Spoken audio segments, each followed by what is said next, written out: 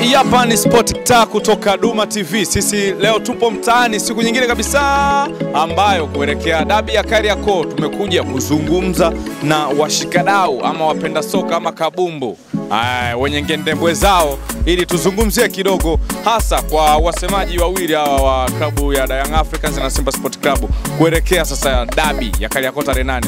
Unadhani matusi kwenye uhamasishaji wa mpira, matusi yana- yanapandisha wachezaji ama yanapandisha klabu au yanadidimiza wachezaji ama klabu? Sasa mimi nisiongee sana. By the way, naitwa Winston Dominic kutoka Duma TV. Usisahau kunifollow kwenye peji yangu ya Instagram kama Winston Dominic 95, lakini pia unaweza kutufollow Instagram kama Duma underscore TV. Usahau kusubscribe YouTube channel yetu. Sasa mimi nisiongee sana, mtembeze mike watu tufahamiane kwanza, ni nani anashabikia timu fulani na fulani haipendi timu hii hapa. Naomba nianze na mkono wangu wa kulia. Mambo vipi?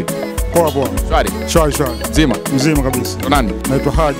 Haji, timu gani unashangilia? Na mimi mshabiki wa Simba. Baba, naomba ujitambulishe jina tu, wewe usiniambie timu. Eh, bwana mimi naitwa Ali Buda. Ali Buda. Yeah. Timu yako inajulikana kabisa na jezi hapa ina sadifu yaliyomo, au unaweza kuwa umevaa fu Hapana, hapana. Simba. Eh, Simba Sports. Haina shida. Faza hapa. Mimi naitwa Shabani Juma. Shabani Juma. Ah, Ah, timu gani? Simba. Simba. Faza hapa. Mimi naitwa Abdul Karim aka Fido Dido. Eh, Fido Dido. Woyo. Faza hapa. Eh, kwanza timu gani? Young African. Ah, Young Africans. Asante. Faza. Naitwa Hafiz. Hafiz timu gani? Mimi Simba Sport Club. Faza kule. Imani Juma. Eh. Mimi mshabiki wa Simba Sports Club. Basi haina shida. Au huku bado hatujamaliza. Faza hapa. Mimi Yanga. Yanga. Jina? Dunia Abdalla Konda. Dala. Faza pale ume Ah, Miss Saidi. timu gani? Yanga. Haina shida, utajua. Faza. Mimi Salim Yohana Timu gani? Simba. Eh, sasa hapa mimi naona kama vile nishapata kile ninachotaka au nachostahili kupata. Hapa kuna mashabiki wa Simba Sport Club na Young Africans. Sasa mimi nataka niulize swali langu ah, kwa nyie mashabiki wa hii dabi ya Kariakoo, unadhani ah, wanavyokuwa wanahamasisha vilabu vyenu kuelekea labda tarehe nane au ukiachana kwenye tarehe nane kuna kuwa na lugha za matusi kwa hao watu wakubwa wa uhamasishaji, naweza kuongelea kwamba lugha zina manara, kuna kuwa na lugha fulani hivi wanaziongea ambazo unakuta sio nzuri, ambazo hazileti hamasa katika mpira, bali huwa ni kuua. Hasa nyie kama mashabiki, sasa mnachukuliaje? Nianze na nani labda? Na. Ah, haina shida, hem, tuambie shika kabisa, ili uwe na uhuru. Eh, bwana kwanza mimi katika jambo hilo ambalo swali hilo ulilouliza wewe mimi kwanza napenda sana kukushukuru kwa sababu kwanza nilikuwa natafuta ujue nafasi kwanza hata hili kidogo ya kulizungumzia, kwa sababu kuna siku moja nilisikia kwenye chombo kimoja cha habari kuna msemaji wa zamani wa Da Young African ambaye sasa hivi ni mheshimiwa mkuu si wa wilaya si si mkuu wa mkoa si vile Moshi si Arusha huko nani msemaji wa zamani wa Yanga nani John Mulo eh, John Mulo sasa hivi mheshimiwa alikaa kwenye vyombo vimoja vya habari siku moja, aliongea. Ni sahihi kuongea maneno kama yale, na sisi tumemzoea tukiwa kama mashabiki wa mpira, au sio bwana? Lakini sasa kidogo kuna maneno fulani nayo kidogo akataka kuongea ongea yale kidogo hayafai. Kwa mimi ushauri wangu yale hayafai, kwa sababu wewe ni kioo cha jamii na sisi tunawaangalia wao, na sisi hizi timu tumelisi kutoka kwa wazee wetu. Hizi timu zimeanzishwa vilabu hivi viwili. Mimi mwenyewe sijazaliwa, sidhani katika hapa kama kuna mmoja wetu kama kashazaliwa. Umeona bwana, kwa sisi tumelisi hivi vitu. Na wazee wetu walikuwa wanataniana, ndio maana kwa Simba na Yanga ni watani wa jadi. Kwa maana sisi tuta, tume, tume, tumezikuta hizi klabu tutazishabikia tutaziacha watakuja vizazi vyetu watashabikia wataviacha vizazi na vizazi. Umeona bwana? Kwa hiyo kama kiongozi anakaa mhamasishaji anaongea lugha ambazo labda za matusi au za uchonganishi au anaziona tofauti lakini kwa mtazamo wake anaziona sawa. Kusema lo kweli mimi naona sio sawa lakini kwa upande wa Haji Manara Haji Manara mimi naona atukani, japokuwa mwanadamu hakuna alokamilika lakini hatukani yeye huwa analeta sana utani. Na hiyo ndo asili ya Simba na Yanga kwa sababu Yanga bila Simba hamna na Simba bila Yanga hamna. Ila nashukuru pia kitu kimoja vile vile Yanga sasa hivi wamefanya kitu kimoja cha maana sana kumleta huyu huyu msemaji wao Anton Luge Lugas eh, huyu Anton Lugazi hata mimi mwenyewe kusema kweli namkubali kwa sababu ana maneno ambayo wewe mshabiki wa mpira so wa Yanga tu African, wewe mshabiki wa mpira, kuna maneno fulani naye anayoongea wewe unayasikia na unayaelewa na unaona huyu anahamasisha nini na anaongea nini. Kwa hiyo mi napenda kumpongeza kwa hilo, na pia kingine napenda kuambia tu ndugu zetu kwamba tarehe nane hiyo kesho kutwa kusema ule kweli, mpira ni mchezo wa hadharani, na sisi watani watani zetu kukubali kama washaumia au wataumia, waweze kukubali hilo jambo eh, kwa sababu mechi ya kwanza walipata sare, wakajitutumua wakapata sare. Sasa hiyo sasa hivi wanaona wao wanaweza wakajitutumua, lakini mimi nataka niwaambie kitu kimoja, tuna miaka kama mitatu minne mitano hivi Yaani mechi ya kwanza wanasuluhu, mechi ya pili tunawafunga.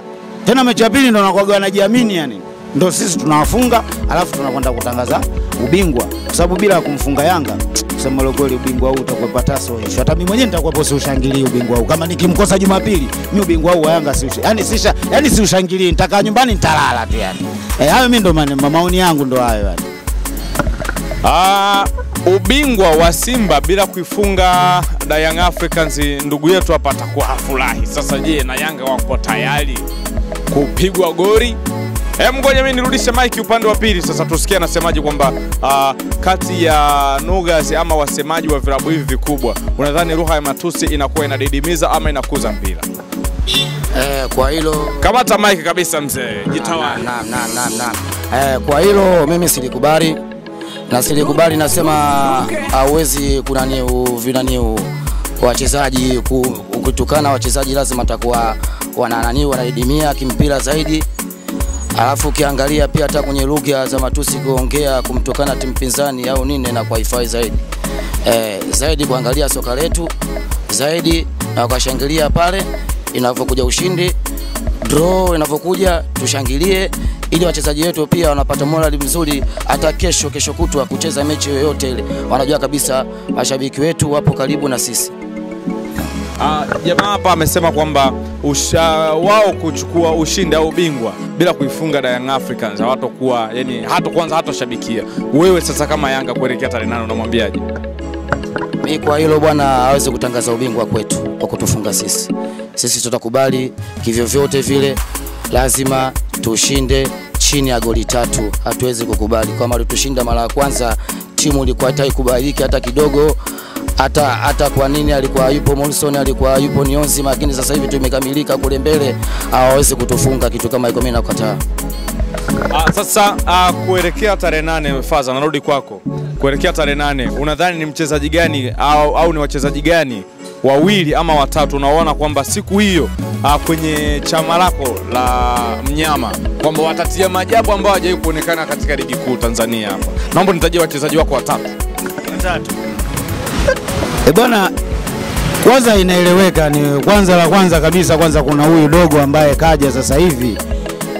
Eh, anaitwa Nixon Louis, eh, Mixon, Louis Mixon, huyu Konde Boy aisa, huyu mtoto hatari sana, yaani huyu mimi nina uhakika atafanya vitu vibaya, alafu vile vile tuna mkongomani mwenye akili zake, umeona, kwa sababu kuna wakongomani wengine hawana uwezo wa mpira, umeona, wanakuja hapa kuleta ujanja ujanja tu, lakini sisi tuna mkongomani ambaye tumepewa kutoka TP Mazembe, Deo Kanda, fundi wa mpira, atawaonyesha tena huyo wa pili. Na watatu? Sababu nina wengi yani, ujota ni unitendei yake Kratos Kratos Chama, lakini roho yangu inaniuma. Chama Chama, watatu. Mmoja mmoja anaeleweka, mwenye mguu wa kijiko au mguu wa mkono anaitwa anaitwa Francis Kahata e, Nyambura e. Bwana jamaa anafurahi kweli, natamani nimwambie kwamba ataje wachezaji wake wote. Mimi bwana, kwenye wachezaji wote sitaki. Umetaja wachezaji wako wanne, sasa wewe na pia anakupa nafasi kama mshabiki wa Young Africans, unadhani ni wachezaji gani unawaamini kwamba siku hiyo ya tarehe nane saa kumi na moja jioni watatia maajabu ambayo hajawahi kuonekana katika ligi kuu? Mimi nafurahi kwa kwa kunipa nafasi, lakini mimi nasema kwa wachezaji wangu watatu ni yule yule aliyokuja na kuchezea mpira mpaka akasema tunawageza ni Molsoni. La, lazima make kwanza anaitaka sana hii dabi, hajawahi kuicheza hata siku moja, lazima apachike bao afu utakuja kusema Fidodido alisema na mwe, na mwingine huyo hapa kuitwa Nionzima. Lazima aseme mimi kipaji changu ni mpira, ni kazi yangu ni mpira, mlinifukuza basi nimekuja huku tena na waonyesha ndo hili hapa hili, lazima azibi mdomo. Watatu ni yule mtoto ambao kuna watu walikuwa namkataa sana, baadhi ya viongozi wa Yanga kudidimiza Yanga. Fei Toto ni mtoto ambao ni mzuri sana. Eh, ni, ni mzuri sana kwa magoli. Ni hao wao wanatosha, na watakuja kuniambia kweli wale wachezaji wanahitaji wachezaji watatu, na hao watakuja kutia hizo goli tatu kama nilivyosema mara kwanza, ni goli tatu zinawatosha. Ah, Fino Dido amenitajia wachezaji watatu, yule jamaa anayetembea kwenye mpira Molson, lakini amenitajia Faisal Toto na mwingine amenitajia nani? Haruna Niyonzima aliyotoka Simba akaelekea Young Africans. Anasema kwamba nitawakumbusha kwamba mlinikataa, sasa mimi huku nimekuja kuwaonyesha. By the way, na natoa nafasi kwa mashabiki wengine waliokaa hapa, neno la mwisho sasa kwa kila shabiki hapa kuhusu timu yake. Mzee, una neno lolote kuelekea tarehe nane? Eh, neno nalo. Neno langu nataka niwaambie kwanza wanayanga mpaka dakika hii eh, goli zilikuwa sita. Goli zilikuwa sita lakini mganga amejitahidi kupunguza zimebaki sasa hivi nne. Lakini hivi ninavyoongea mganga amezimia. Waganga kutoka Simba Wanga kutoka wapi na Chingwea wapi wote wamemshauri aachane na swala hili lakini mganga bado anaendelea kung'ang'ania hivi ninavyoongea amezimia Bwana, kumbe kuna waganga wameshaingia hapa Bongo. Ngoma ni ngumu, ilikuwa ni goli sita, sasa hivi imekuwa ni goli nne, lakini mpaka waganga sasa hivi wameshazimia kwa sababu mambo ni magumu. Tunguli, tunguli alichezeki, tunguli lina hema. Sasa mimi naomba nirudishe mike upande wa pili sasa kwa wanayanga. Shabiki wanayanga mwingine yuko wapi? Awe wewe hapo. Ah, wewe hapa. Sasa eh, kuelekea tarehe nane sasa neno lako lote ambalo unajisikia Mimi kama mimi naitwa Dunia Abdalla. Eh, ni siku ya tarehe nane, sisi tunapiga KO tu eh, mwendo wa KO eh, KO unajulikana ni tatu tu ndani ya KO sina swali jingi na sina maelezo ndani ya KO tu. Jamani, natoa nafasi kwa mtu yoyote mwenye dukuduku kabla sijafunga hapa. Dukuduku, kuna mtu mwenye dukuduku? Sasa mimi nasema asante. Una dukuduku eh? Ah, malizia basi. Sasa dukuduku la upande wa upande wa timu yangu au dukuduku vipi? Timu lolote dukuduku, nimesema dukuduku. Sija kufunga kwamba wapi wapi. Eh. La kumalizia. Eh bana, la kumalizia, mi dukuduku langu nalizungumzia upande wa pili huku, ndugu zetu wawaondoe wale wapijaji wapijaji hela wale, wawachukue wachezaji wenye akili ili Simba tupate upinzani. Sasa hivi hatuna upinzani, Yanga maneno tu. Hilo ndo dukuduku langu, yani aliyaongea hayo mheshimiwa Mulo kwamba wachezaji fulani pale sio, jamani, waondoeni wale, leteni watu wenye akili tuwe wapinzani. Hilo ndo dukuduku langu. Mimi naniuma Yanga akiwa vibaya, sina mpinzani sasa. Hilo ndo dukuduku langu. Ah, dukuduku lake anaongea kwa uchungu na akimaanisha kwamba ah, kwamba wachezaji toeni wale wanaopiga wa, wanaopiga mchere pale, wekeni wachezaji ambao kwamba da, uh, Simba Sport ikikutana na Young Africans kwamba inakuwa ni mtanange na ligi inanoga. Mimi sina kusema, by the way, nimekwambia hii ndio Sport Kita, tupo mtaani. Mimi nasema asante kwa kuendelea kutazama Duma TV. Naitwa Wilson Dominic, usahau kunifollow kwenye peji yangu ya Instagram kama Wilson dakika 95 tu zitaongea ama dakika 90. Tukutane Taifa siku ya Jumapili, muda ni saa 11 jioni. Asante.